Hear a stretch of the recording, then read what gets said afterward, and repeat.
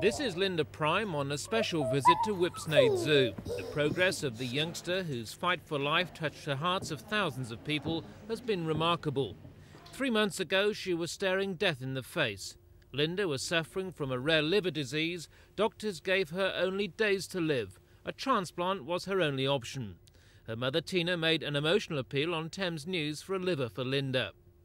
We were there at the Prime's home in Harpenden at the very moment when Addenbrooke's Hospital in Cambridge telephoned to say that the parents of a young child who died had agreed to their youngster's liver being used. There followed the hurried dash to the hospital, a day long operation, and six weeks' recovery in hospital before Linda emerged looking fit and healthy.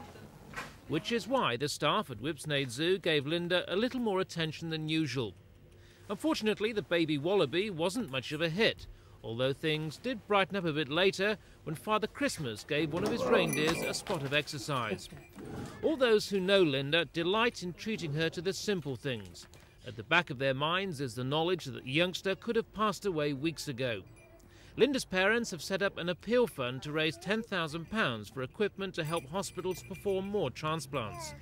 When that's achieved, they'll quietly end the publicity and go back to living normal lives we hope to raise enough money to buy machinery not only for Addenbrooke's but for King's College, which King's have looked after Linda for the last two years. And uh, hopefully in the new year we will be doing things like jumbo jet pools and fun runs. So hopefully we'll be able to raise quite a, an amount of money that we can get the intensive care units. Then came the big photo opportunity.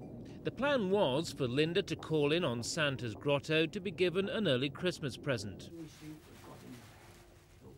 Unfortunately, Linda was having none of it. Sorry, Santa, you'll have to do something better next time than a fluffy toy. But don't worry, there are no hard feelings. Linda's already got the best Christmas present anyone could give her.